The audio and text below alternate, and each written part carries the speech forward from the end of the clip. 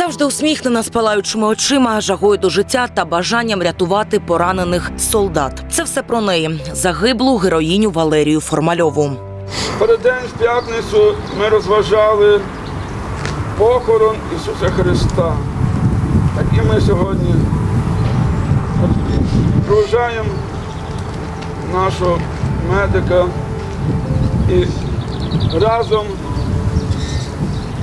згадуємо її життя, посмішку її завжди раділа своєму життю.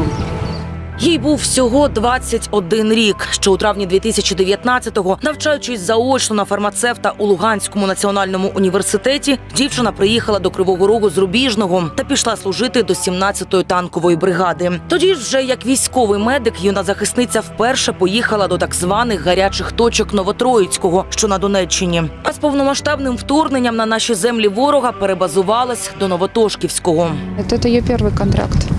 Она пошла на фронт в девятнадцатом году, в мае. Закончила школу, пошла работать в кофейню и потом э, пошла...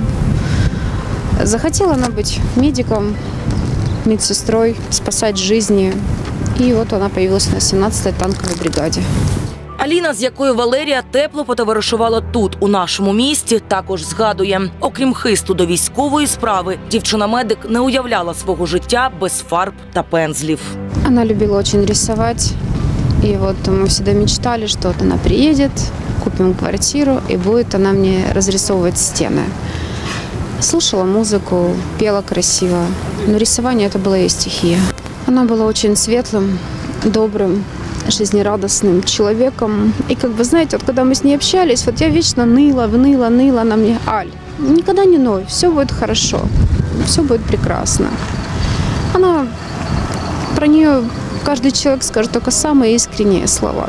На рахунку 21-річної героїні з початку російсько-української війни більше 20 врятованих від смерті життів. Проте своє молода військова так і не змогла вберегти. Саме у селищі Новотошківське, що на Луганщині, дівоче серце зупинилось. 16 квітня бліндаж, в якому вона знаходилась із чотирма бійцями 17-ї танкової, накрив ворожий снаряд. З нього живим не вийшов жоден. Будьмо уважні, сказав Господь тим, які до нього прийшли.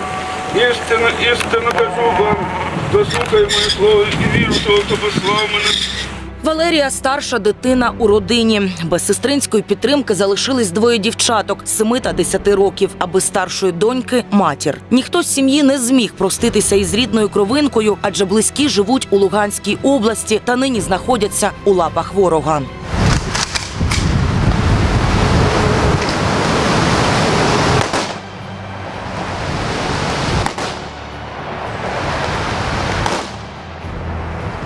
Валерія мріяла будувати майбутнє саме у Кривбасі. У Криворізькій землі військова і знайшла місце свого останнього спочинку. Редакція першого міського телеканалу висловлює щирі співчуття родині та близьким загиблій. Вічна пам'ять. Героїні не вмирають. Ганна Штонда, Маріола Куліч, Артемій Мельник, перший міський.